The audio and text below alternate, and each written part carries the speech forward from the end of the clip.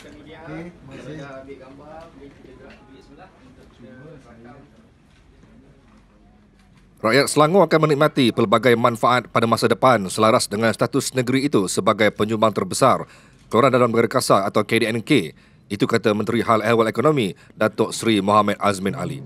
Beliau berkata rakyat di negeri itu sepatutnya mendapat pulangan setimpal hasil pertumbuhan positif ekonomi Selangor yang menyumbang kira-kira 23% mendahului negeri lain. Beliau berucap pada majlis clockout Menteri Besar Selangor di lobi bangunan SUK Selangor, Shah Alam hari ini. Dalam pada itu, Muhammad Azmin yakin bakal pengganti beliau akan meneruskan kecemerlangan pentadbiran kerajaan Selangor.